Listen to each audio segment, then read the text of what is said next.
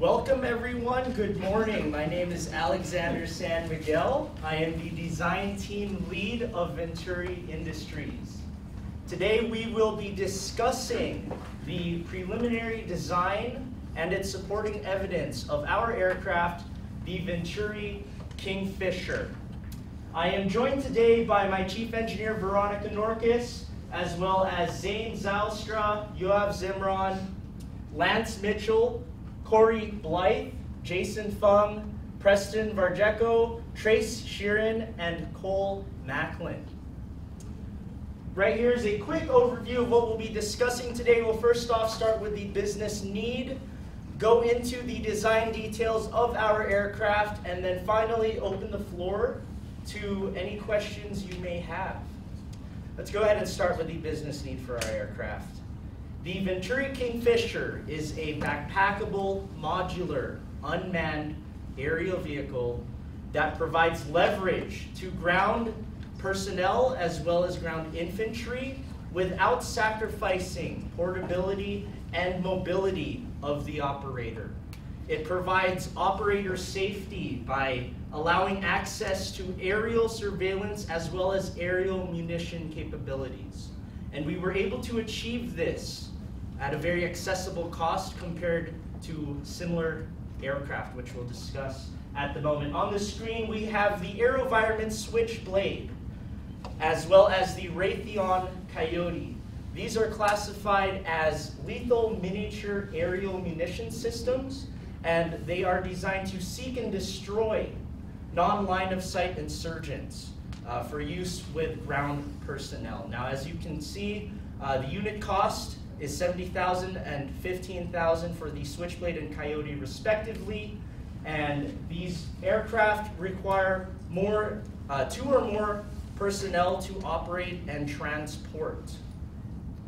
On the screen here is our aircraft, the Venturi Kingfisher, at a much more competitive unit cost and also providing the same capabilities with the requirement of only one operator to both transport and fly the vehicle.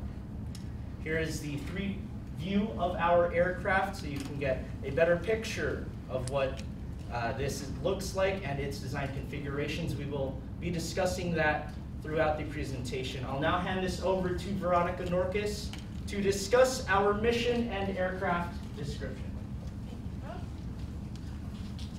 Okay, so, as with every project, we have requirements. Just some of our few main requirements is that our aircraft must be able to carry a payload of three pounds. Along with that, the entire system must fit within a 45 liter backpack and not weigh more than 30 pounds. Also, the aircraft must be deployable in 60 seconds after it is taken out of the backpack. Another big requirement is cost. The entire cost for building our aircraft must not exceed $2,500 to pass it over to Trace Sheeran to talk about our concept of operations. Alrighty, so I'm going to be going over the concept of operations, the ConOps. So the idea is for the requirements was it's a single operator, right? So the single operator with the backpack, the drone inside, would then take the drone out, place the uh, drone on the ground once it's assembled, and from there now has the capability to launch the drone vertical takeoff. From there, the drone will climb. Once it has reached its cruising altitude, it will cruise to a specified target area, now with our range and our endurance, we'll have the capability to loiter over any target airspace or any place where we uh, deem it necessary so that you can assess the target area. You don't want to have any civilian casualties. You want to make sure that you can assess what's going on beneath you because at this day and age, that's kind of a huge focus, especially with military munitions. Once the target's been assessed and it's a shoot, no shoot, and you decide that it's time to shoot and head down, the drone will then descend um, to the target area and eliminate the target. Will now hand it off to Cole Macklin to discuss the assembly methods. So I'm just going to give a brief overview of how our plane quickly assembles for more detail in later slides. Um, currently our two wings slide together, um, and our back one is the same way except our vertical tail fins slide into that. Um, from there they clip directly onto the top and bottom of our plane and then sit vertically for our takeoff. Um, I'm going to hand this off to Yoav now. All right, thank you, Cole. So over here we can see the entire mission profile of the Venturi Kingfisher. So the first thing we have to do is the vertical takeoff. That's designed to get us to just a little bit above our stall speed of 22 knots. Excuse me. that's gonna take us about six seconds. Uh, the next step would be a transition to a forward flight and continuing our climb to 500 AGL. We're gonna do that at uh, 500 foot per minute and 45 knots to airspeed. It's gonna take us a little less uh, than a minute and a little less than a mile. Uh, the next step is our six mile cruise. We're gonna be cruising at 50 knots to airspeed and 500 AGL. For six miles, it's gonna take us uh, a little less than, than six minutes. Uh, the next optional step is our loiter. If, uh, if we need to loiter above the target and assess the situation, see if there's any non-combatants involved, we can do that with our loiter. Again, we're still at 500 AGL, 50 knots in a 500 foot radius. And it, uh, our mission profile is concluded with our last step, which is the dive to target. We're gonna be diving at negative 1,000 foot per minute and, uh, and 50 knots. Gonna hand this off to Zane Zalstra for the wing side. So we chose the tandem wing configuration due to its unique advantages that help us satisfy the RFP requirements as well as the size, size constraints for our airplane. So the definition, by definition, uh, a tandem wing aircraft, uh, both the front and rear, rear wings contribute to lift. Uh, this means that we can decrease the overall span of uh, those individual wings. That helps us fit inside the backpack. Um, as compared to a traditional one-wing, um, single-wing aircraft, uh, in the same span, a tandem wing will uh, have a higher overall coefficient of lift. Um, also because there's two wings to spread the uh, wing loading, uh, we can decrease the structure weight inside those uh, wings. Uh, And the combination of the decreased structure weight and the uh, decreased span will lead uh, to a higher or more maneuverable aircraft um, that can fit inside a smaller form factor. These were the largest design considerations for the wings. There's also inherent disadvantages with tandem wings. Um, For example, uh, tandem wings are very sensitive to small shifts in the center of gravity. However, we're mitigating this uh, because uh, we have a fixed payload and we have a battery-powered airplane. So that CG does not shift mid-flight at all.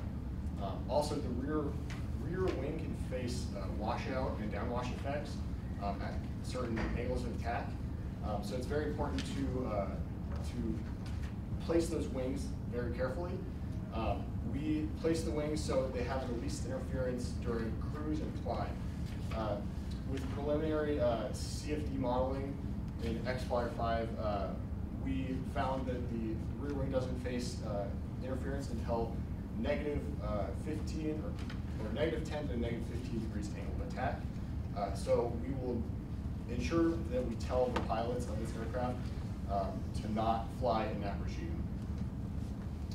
Uh, This is a, uh, this is an overall wing layout um, with some important parameters for our aircraft. As you can see, uh, the half span of each of those wing sections is only 21 inches, and the chord is, uh, is six inches. So that means that we can easily fit inside that 45 liter backpack. Um, Another important thing is uh, we had a one degree incident on the front wing. Um, That means that, uh, did that because we want the front wing to stall first, um, and that rear wing will still be providing lift. So that'll lead to a nose down pitching moment, uh, and the aircraft will be able to uh, recover itself easily.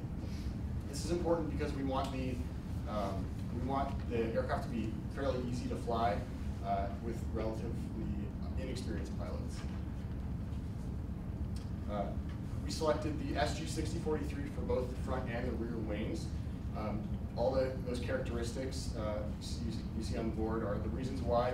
Um, Big ones were high uh, lift to drag ratio, uh, gentle stall characteristics, and uh, ease of fabrication. This is our 2D versus 3D lift curve for uh, our airfoil. Um, You can see that in blue. Um, And in yellow is a single wing uh, lift curve, 3D lift curve. Um, But when you take into consideration lift of the entire aircraft with that rear wing, um, that shifts the entire curve up. uh, And we're able to get a uh, ma- predicted max coefficient of lift of 2.22. Um, we were able to uh, model this in XFLR5 as well, and uh, that uh, lift curve slope was um, verified, and that gave us confidence in our empirical methods. So using the uh, drag buildup technique, uh, we were able to um, uh, we were able to get an overall co sorry we were able to get a overall parasitic drag coefficient of 0.046. This was taking into consideration the uh, wetted areas of each main component on the airplane. And on the left, you can see our total aircraft drag polar uh, at max cruise altitude at cruise. So I'm going to be handing this off to Lance Mitchell.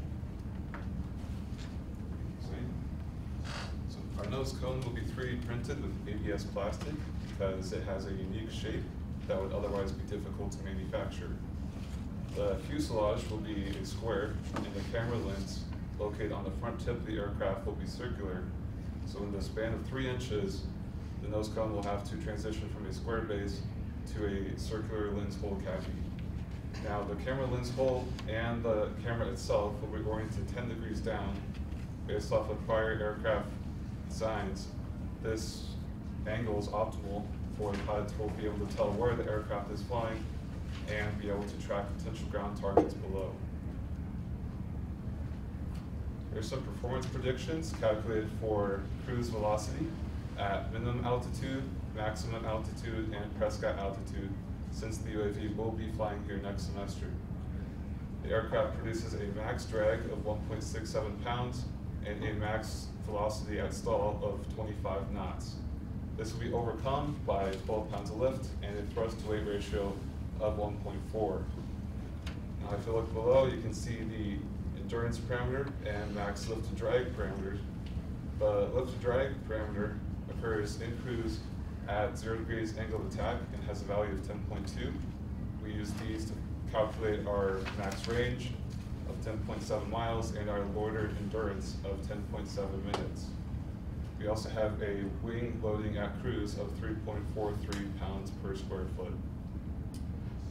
So to summarize, the wings will be small enough when the aircraft is fully disassembled, the entire aircraft will fit inside a 45 liter backpack.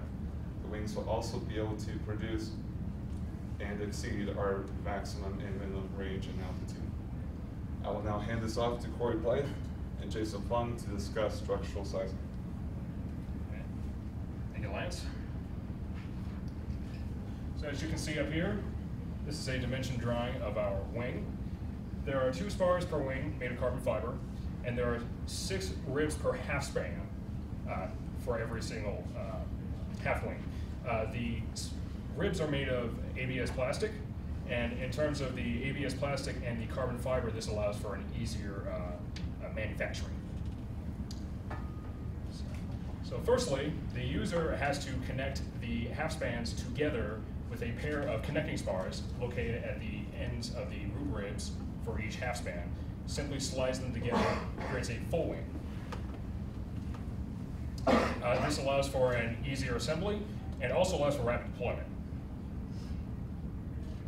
All right, Jason Fong will now talk about the wing loading. Alright, so in order to find the internal stresses within our wing structure, we uh, employed Schrenk's approximation to determine the uh, actual loading on the wing. Um, for our calculations, we assumed the aircraft was performing its max G turn of 2.5 Gs. And with this, we found the maximum bending moment to be about 90.7 pound inches uh, at the center of the wing right here where that arrow is pointing uh, with the connecting spars. Um, since our wing structure is carbon fiber and ABS plastic, uh, ABS plastic is weaker, so that was a limiting factor with our amount of stress allowed. So with that, ABS plastic has a, an average maximum bending strength of about 10,000 psi. Um, using 3D uh, stress calculations, uh, bending calculations, we found the uh, stress to be about 1,764 psi. Gave us a really large uh, margin of safety of about 4.6. Um, we also determined the uh, angle of twist at the uh, wingtips to be about 3.6 uh, degrees. Corey. Thank you. So after the full wing has been assembled, it now has to be attached to the fuselage. So in spirit of, in spirit of rapid deployment, uh, the root ribs uh, have a connector plate located uh, beneath them, and all the user really has to do is insert it into the fuselage and then press down as a connector plate. Jason will talk about the structural properties surrounding that. Um, with the clip being made out of ABS, uh, it was really important that we knew uh, knew what the maximum stress in this clip was. So uh, we found that by uh, finding the internal bending moments throughout the entire clip, uh, and we found that the maximum uh, bending moments or maximum stress would be in these two locations right here, due to your small cross-sectional area. Um, with that, we determined that the max uh, bending moment due to the actual lift uh, generated by the wings would be about 6.7 pound inches. Uh, on top of that, we'd also have an aileron uh, moment about 0.5 pound inches. Obviously, when the ailerons are uh, actuating and uh, producing a moment to roll the aircraft. Um, so with that, we still have the same 10,000 psi limit, um, and we determined that the bending stress in these two areas came out to about 7,655, their current dimensions. They gave us an emergency safety about 0.32. Um, with this, our wing structures do satisfy, satisfy our requirements. Uh, since we're using ABS and carbon fiber, both lightweight materials, um, it should allow us to meet our 30 pound requirement. Um, due to the fact that everything is uh, set up so that everything connects and clips into the fuselage super easily, should be easy to deploy. And since the wing is uh, multiple parts, it's easy to store as well. And due to the fact that we're using uh, 3D printed ABS, it should be easy to build on top of that. With this, with our fuselage, we decided to go with a square cross section due to the fact that um, square uh, fuselages are easier to build, and as well as uh, allow the uh, wings to clip in super easily since it's just a flat surface to clip onto. Um, inside the fuselage, we'll have two bulkheads to uh, help support the fuselage, as well as uh, hold over components in the fuselage. Uh, with this, they're about 10.9 inches apart, uh, and we'll be using uh, pins to help uh, support the fuselage and the bulkheads. Um, with this, during our max sheet turn, we found that the pins will only take a load about 30 pounds, um, which came out to about 120 psi. Uh, these pins will be made out of ABS, so we have a large margin of safety with this, about 82. Um, with this, our fuselage, once again, easy deployable since it'll allow, it allows us to use that clip system, just clip right in. Um, it's a square cross section, easy to store as well, and uh, easy to build.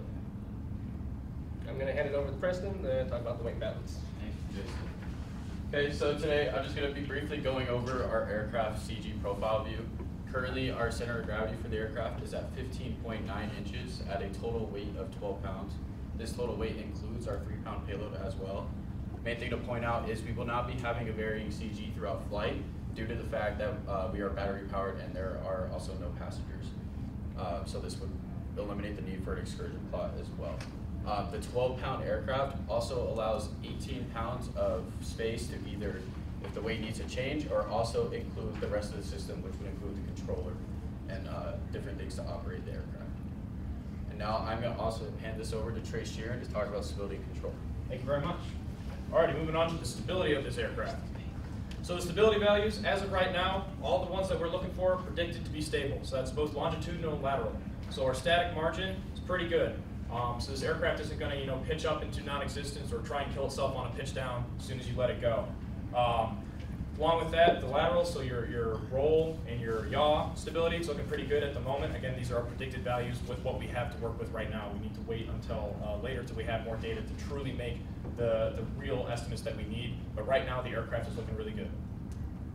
As you can see here, uh, our aerodynamic center is at 16.9 inches, and then our center of gravity is 15.9, so our AC is well behind our CG, giving us a pretty stable aircraft as of right now. So because of this stability, now we get to move on to like the ailerons.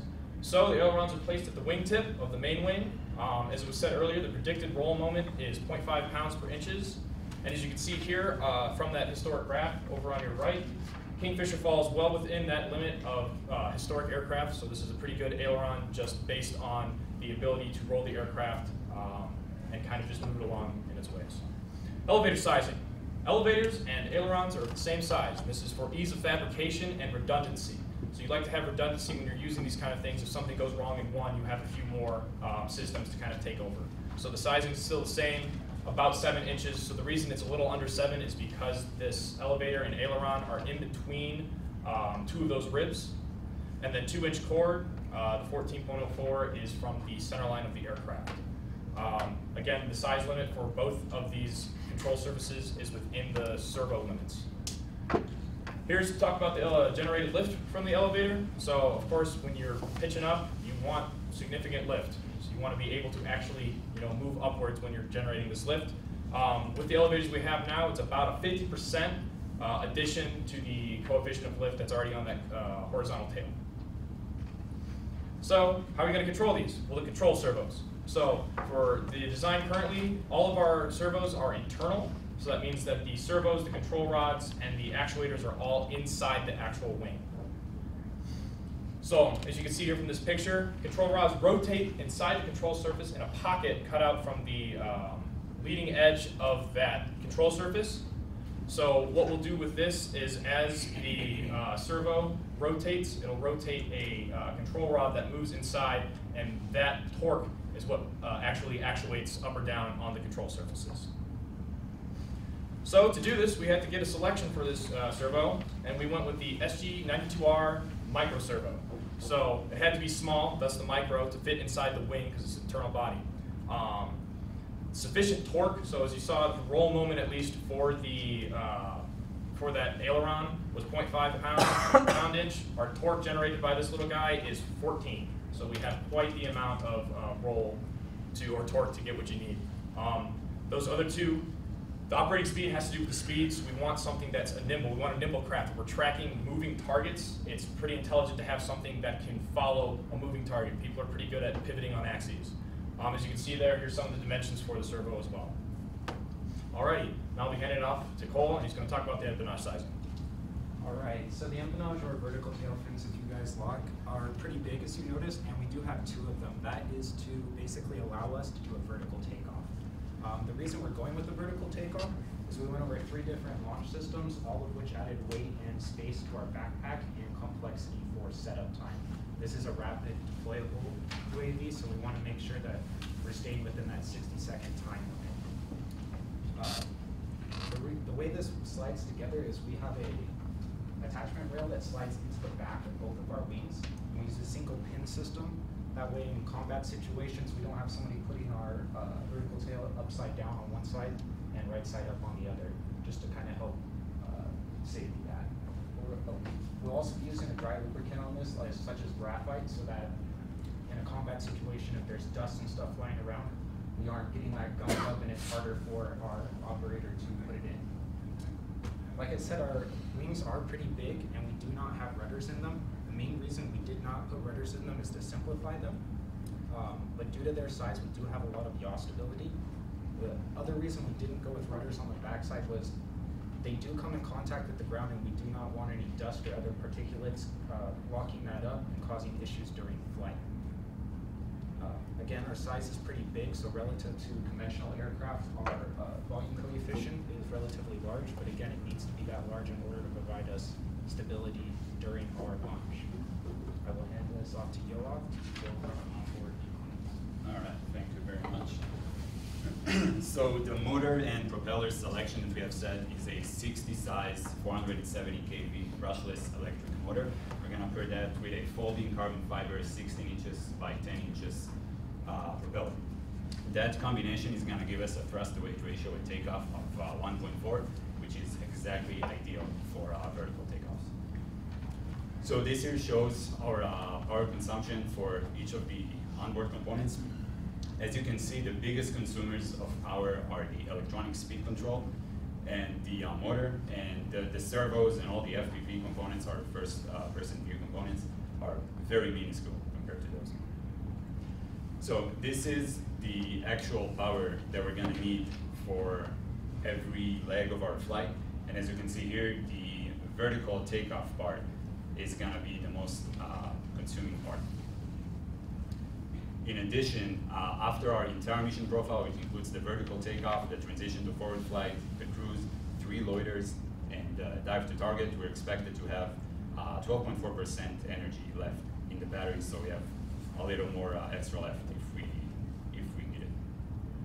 So this here shows a uh, layout of our uh, onboard components.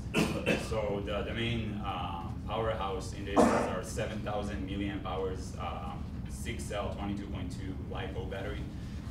And then we have uh, two circuits, one on the bottom and one on the top. The bottom circuit is our control circuit. It's gonna be powering our motor and our receiver via the electronic speed controllers. The receiver is gonna be powering our four servos, two aileron and two elevator servos. Our second circuit is gonna be powering our FPV camera and transmitter. So we have a voltage regulator. We have to step down the voltage from uh, 22.2 to 16 volts. Then we have the FPV transmitter, which uh, both powers the FPV camera and also receives the video feed from the camera and sends it to our headset on the ground. So this is a more um, in-depth uh, wiring diagram. This is the actual wiring diagram we're gonna use when we're assembling everything. So as you can see, we have the FPV circuit on the bottom, the regulator, the transmitter and the camera, and then on the on the top we have our electronic speed control, our brushless motor, and our receiver powering our four servos. So the FPV camera that we chose to go with is the Fatshark 960 TVL camera. The special thing about this camera is that unlike other FPV cameras, it actually records and transmits in uh, widescreen aspect ratio, of 16.9. And uh, that wider those few extra pixels that we're gonna get on the on the sides are gonna help us a lot with uh, with seeing both what's in the air in front of us and uh, what's on the ground uh, right below us. So we have uh, two radio circuits on our plane. One is our control radio circuit, which is going to be used to send uh, controls to the ailerons, the elevator, and the, uh, the motor. That is going to be operating on a 2.4 gigahertz um, frequency spectrum. That's a pretty standard for, uh, for radio systems.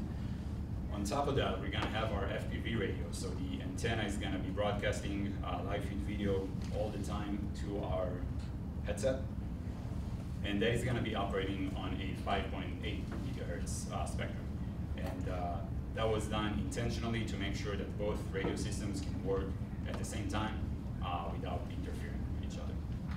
So when we decided where to mount the FPV camera, uh, we wanted to make sure we have uninterrupted uh, live video feed at all times. And for that reason, we decided to mount it at the bottom of the plane so that even when we're banking, uh, we still have direct line of sight between the FPV camera and our headset.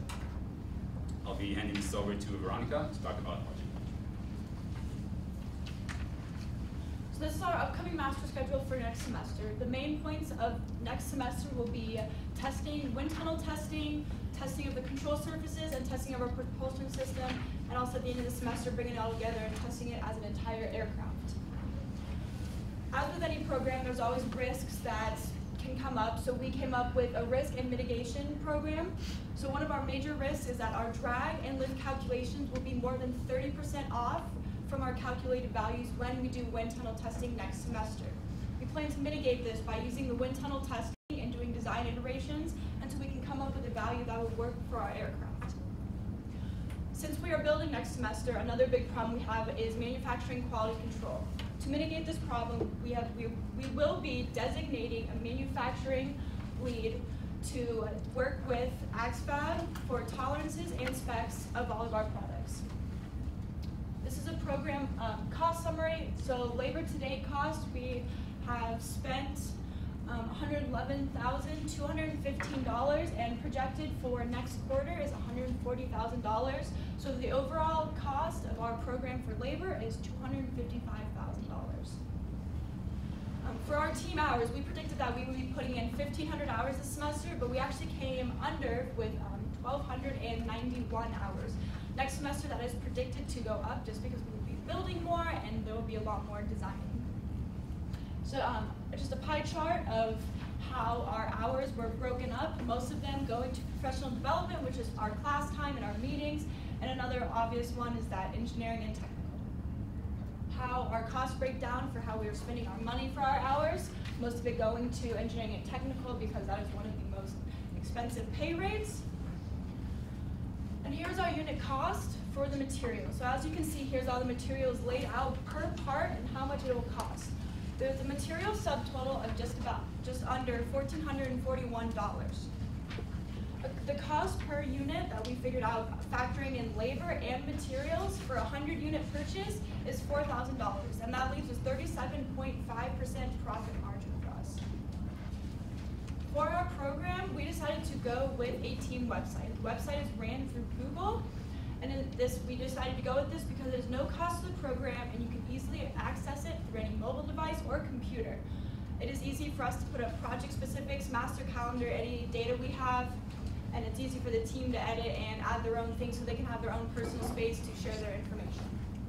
I hand this back to Alec for conclusions. Above are the key product parameters of the Venturi Kingfisher for your viewing convenience. And at the moment, we recommend that we proceed, or we are seeking pro- approval to proceed with the aforementioned design configuration in order for us to uh, complete wind tunnel testing as well as fabrication of our aircraft. We will now open the floor to any questions that our panelists may have. I have a question. Yes, sir. First of all, I'd like to say you guys did a good job. You, sir. question is in regards to the aerodynamics, stability of the vehicle. You mentioned putting a one degree incident on that forward wing. Since both wings have the same airfoil, you're doing that so the forward wing stalls first. Have you considered looking at a different airfoil that stalls um, before the aft, before the aft wing, so that you're not putting that one degree incident, which could add to your uh, engine drag? That is something we will consider next semester. Absolutely. Uh, Sir, as to why we chose the same airfoil for both was uh, just to help our manufacturability at this point. Uh, We have not considered that. Uh, We will consider it next semester. Um, But as for our kind of design thinking, was that since the angle incidence will be induced by the root rib, which is 3D printed, it wouldn't be difficult for us to do. Um, however, when we're laying up the carbon fiber, uh, we wanted kind of the most standardized process in order for us, in order for us to optimize our time and cost of the air vehicle. Uh, so we can consider that, sir, uh, but as for why we chose the same airfoil for both wings, uh, that is the reasoning behind it. Thank you very much. Just real Yes, quickly on that same note, during your wind tunnel test, Yes, sir. if you really need to have that incidence angle in there, because think about the angle of attack of the, the horizontal tail or a surface behind, because you got downwash off of the first set of wings, it's gonna give you a different angle of attack, and you may not need to have that incidence angle be different. In fact, you won't. Awesome. Thank you, Dr. Asper. If, if I might add, uh, it's just typically conventional, uh, with tandem wings, it's, if we don't need it, then we won't do it. You won't need it. Sounds good. Should give us the answers. Okay. Any uh, further questions? Yeah, so, uh, who's next? All right. Yes, sir. Um, so, uh, great job. That was, that was a lot of information. You guys covered quite a bit. And I really did appreciate, uh, where you kind of went into how your, uh, some of your surfaces were sized. I, I really appreciated that. Um, do you guys have, uh, so I have a couple questions. Um, thirty per, uh, one of the risks that you talked about, I'll start with this one, was uh, thirty percent uh, delta on and CD. Um, Those were the two uh, parameters that you were worried about. Is there a reason why those are the parameters you're worried about, and why thirty percent, why draw the line in the sand at thirty percent? I was wondering if I was missing something there. Um, well, thirty percent is just to be, um, you know, very conservative on both sides, um, because the, with the, um, lift on that rear wing, we don't know exactly what that interference will be. Um, so if it turns out that it's like, there's a lot of, uh, interference on that rear wing, and it's producing thirty percent less, um, then the, the line in the sand was more or less, uh, just to be conservative. Okay, so let me push that a little bit. So twenty-nine and a half percent, you're good. No, lo- don't care. But thirty and a half percent, it's a problem, according to the criteria. Yes, according to the criteria, but obviously when we look at it, something like that, Right. we will definitely investigate with our wind tunnel testing. It all just depends with our calculations. Obviously, we've just been doing hand counts, but mm-hmm. when it comes to wind tunnel testing, everything might change, so. Absolutely. That's So, kind, looking out for. kind of, the- thank you. S- So kind of the lesson coming out of that, I think, is be careful with your, it- that's basically a test criteria or an evaluation criteria. Be careful about establishing arbitrary criteria, because they're not, you, you can't substantiate it. Now, one thing that you might have been able to do is look at margin. And if you had a margin, you're like, okay, well, we can accept up to X, um, uh, you know, degradation in CL or whatever. Well, then you can actually put limits on it based on realistic kind of design constraints, rather than just drawing lines in the sand. Thank you, So, sir. Yeah. We will consider it a little bit about next that. semester. Um, One question, uh, what if your aircraft doesn't have to explode? Is there a way to bring it back to Earth? Yes, sir. Okay, so we also investigated, we've discussed um, this as per our RFP as well. The payload, ha- there is a payload bay in the front bulkhead. Uh, Would it help if I circle back? around. All right, so there is a payload bay which currently is holding the explosive payload of our aircraft. However, as per our business use case, this can also be applied for civilian applications as, uh, as you can see right here, uh, there's a large box for our three pound explosive, but depending on the actual application, whether it be for, which we haven't uh, developed too far yet as per business case, but uh, depending on its application, we can swap out that explosive and replace it with batteries, Okay. testing equipment. No, that, that's awesome. Um, Yes, one sir. question though, for a military application. Yes, sir. Once you launch with an explosive, does it, is it going to end in a explosion? No, sir. So as per our concept of operations, sorry about this. Yeah, I, I was, Right before the. phase six was what bothered me. Oh, yes, sir. Sorry. Um, we meant, what we meant by this was that uh, in phase five, we can identify and confirm that the uh, target is a threat. Right. And that is the only time when the warhead will. Oh, are you, you asking about a recovery system, sir? Is that what you're Yeah, asking? about? I'm going. Dragon. All right, um, so what we've kind of looked into that is a couple of things. Um, some of the conventional ideas, when you're not gonna put a landing gear or something like that, is just catch it with a net. So there have been cases where people will catch these reusable drones or these, um, you know, non-recoverable, the, the uh, idea is not to be recoverable, is you just catch it with a net. You come in at a, um, on your stall speed, and then you just throw up El Neto and it just catches it, so, Yes, sir. So we have investigated uh, those options. Um, The design also leaves room for variance. Yeah. For both, uh, depending on the application. Okay. Also with the net catch that we've looked into, the parts that are going to break potentially the vertical tails, you know, just stuff like that, all the most expensive stuff is inside the aircraft, so if it does crash and hits the net and kind of hits the ground, the vertical tail breaks, that's only about ten dollars, if that, to just put on a new vertical tail versus all the onboard components, which cost upwards of six hundred and fifty dollars, will be safe inside the aircraft. Yep. So just a suggestion on the kind of slide, maybe show two phase sixes. Perfect, Um, sir, yeah. One, one to include non-exploding.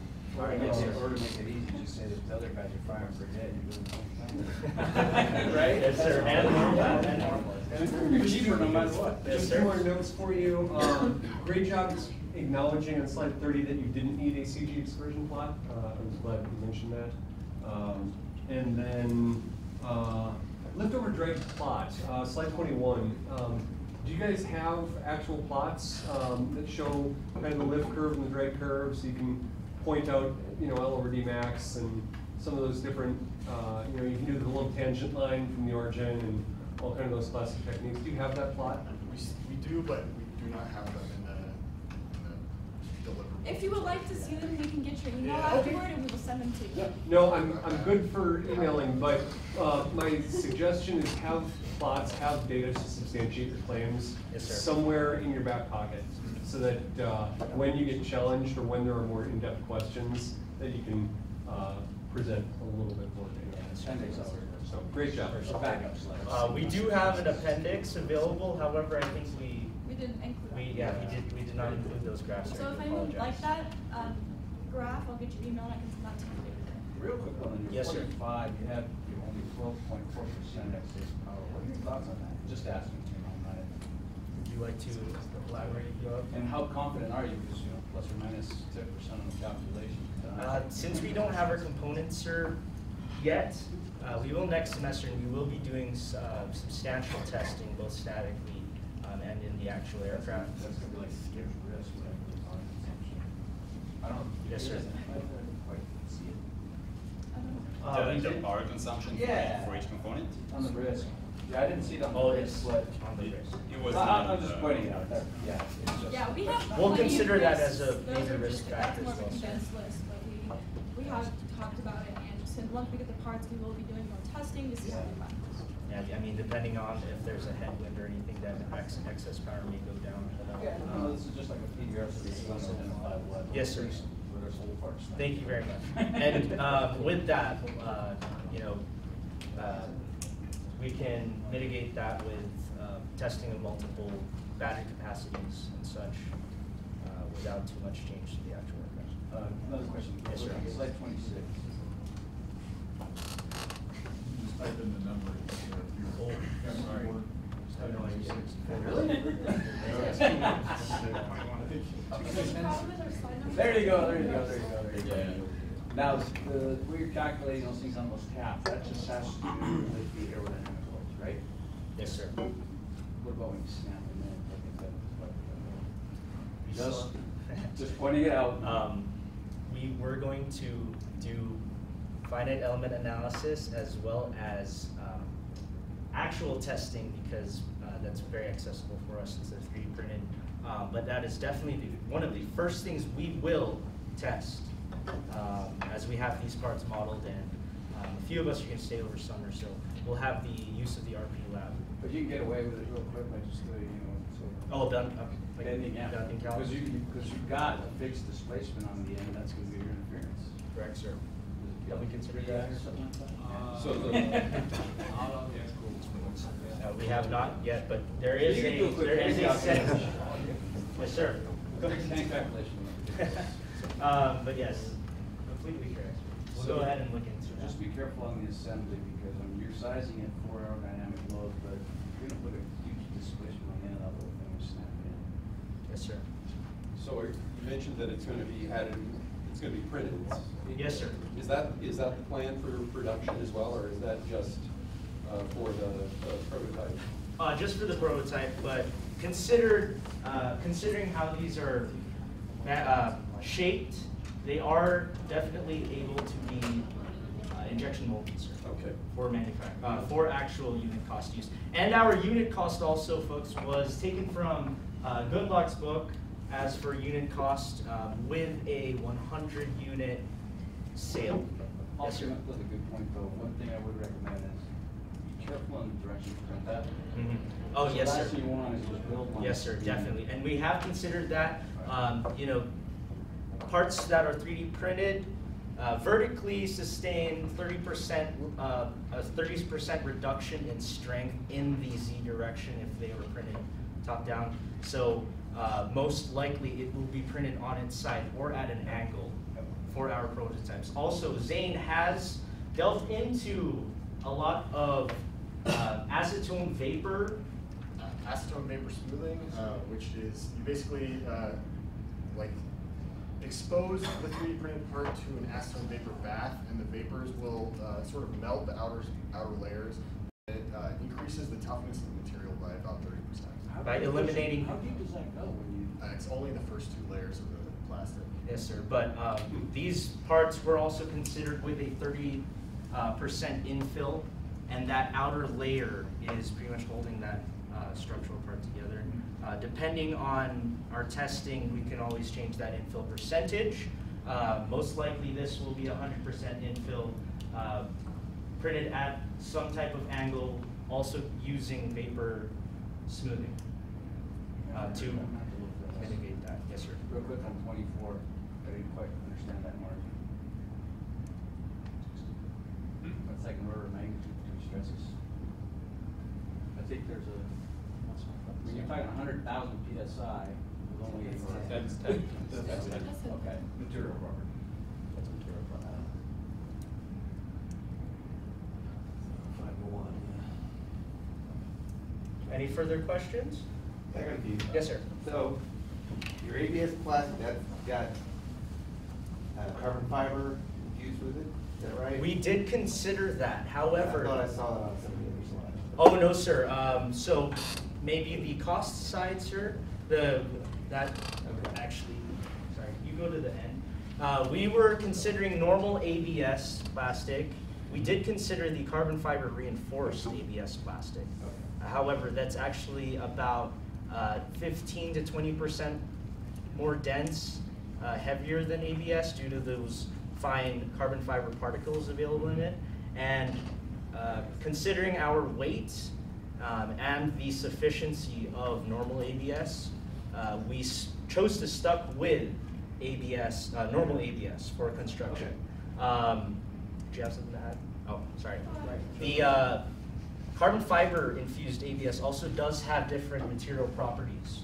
Um, one being a little more brittle, as well as uh, being a lot more expensive. So, Just to Yes, my chart real quick, um, it's kind of like two lines where it's like the wings, here's the carbon fiber, how much we'll need, and then the ABS, I understand how it could be read as carbon fiber ABS, but it's just, it's two separate lines. yeah, we should have separated those, sir. Okay, so the carbon fiber is for the skin itself? The skin, the fuselage body, which is a sandwich carbon fiber, uh, about one eighth inch thick, uh, between a honeycomb that is very flexible. We're going to be working with um, our AXFAB uh, to manufacture that kind of monocoque tub for the fuselage. Uh, but it goes for the vertical tail plates, the fuselage, and the wing skins only. Okay. Oh, sorry, and the spars. All right. We have So- been uh, working with Greg back there actually in AXFAB to go over some of the more uh, composite components that we can do to reduce weight, and increase our strength on the uh, plastics. Yes, sir. Okay, so, anytime you're dealing with plastics or composites, which are really plastics, Yes, sir. uh, you gotta consider temperature and humidity, all right? Don't look at, you're gonna see great numbers from the manufacturers. Don't believe them, all right? They lie. So, you gotta, gotta put a reduction factor. because you- it Some marine's gonna have this on his back, crawling through some jungle somewhere. Yes, sir. It's gonna get hot, it's gonna get wet, and it's gonna get weaker. So you gotta uh, account for that in your material process. Okay. make sure you put a, a knockdown factor there. Okay. And Would Which you, look like uh, you have plenty of margin, so you're Yes, probably sir. okay. Yes, sir. But that ten thousand, I think is, a- that's a pretty sporty number Mhm. when you consider the environment's the same not nuclear. Thank you very much for that For- input, sir. Yes, sir. Particularly for additive, for additively manufactured. Right. That- Yes. I, I think, yeah, my, my folks would, would get on me if I, if I was gonna claim that kind Yeah, of yeah. s- strength You for never- additive manufacturing. Yeah, the sheets from manufacturers are just a I'm gonna throw out some comments for time as opposed to questions. Yes, sir. Uh, You, you listed one of your risks as thirty percent. Typically, you wanna use those as three sigma, so if you can do more wind tunnel data, you can bring down your prospective air bar, and that way your requirement never changes. It's just a great way of, of looking at the risk. You have another risk, previous page fifty-two. Um, You've already realized the risk of the aircraft being unstable and default. It's already there. So now the question is, if you're taking off from a, a non-level surface, Mhm. make sure you've accounted for what that level can be, or does the Marine just throw it? It's twelve pounds, and he's in a firefight, just throw the thing, get it the heck away, because you want to deal with something. Um, Yes, sir. in that environment. Yes, sir. I'm not putting VR goggles on. Well, see, this is, uh, this is, this project was meant to, uh, kind of step our infantry back from conflict and, uh, possibly prevent that conflict from happening beforehand. Uh, so we took it, uh, we took the concept of operations kind of more in that note. Uh, however, I, I would understand how the VR goggle headset, excluding yourself from your surroundings, um, while being. You may uh, find a shot at. sign with my name on it that will address the issue. I have, uh, I'm sorry. And you talked about maximum altitude. I think in service ceiling, Mhm. So is your maximum cruise altitude truly your service ceiling? And, and so just make sure you get that correct, uh, because there will be a lot of spaces of ninety-five hundred feet that a Marine is at, that they want this thing, uh, that wouldn't work correctly. Understood, sir. Thank you very much. I have Yes, one sir. last comment. Um, so I thought I saw something about an angle of attack limit of minus ten.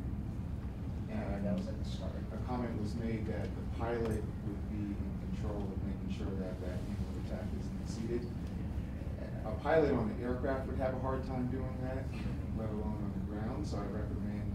An MCAS? Auto, I do recommend making that automated, have a a autopilot take care of it, similar to Boeing's MCAS system, just do a better job. Yes, sir, Yeah. yes, sir. Yeah. We will do that, and, um, you know, we, we allowed for about ten hours of training time per, uh, operator, uh, in order for them to gain, um, you know, uh, experience with the aircraft, but we can definitely, we still definitely have room in the aircraft to allow for, uh, you know, uh, sorry, control, uh, aids, uh, electronically. There was a question in the back. It's been waiting for a while. Yes, sir. More comment than anything else. Um, First of all, it was outstanding. Um, I think you use very half a dozen of those on down aircraft recovery missions in Afghanistan.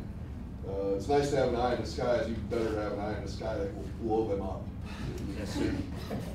Um, When you were looking at the uh, ABS versus carbon fiber ABS, um, did you pare back the carbon fiber ABS structure?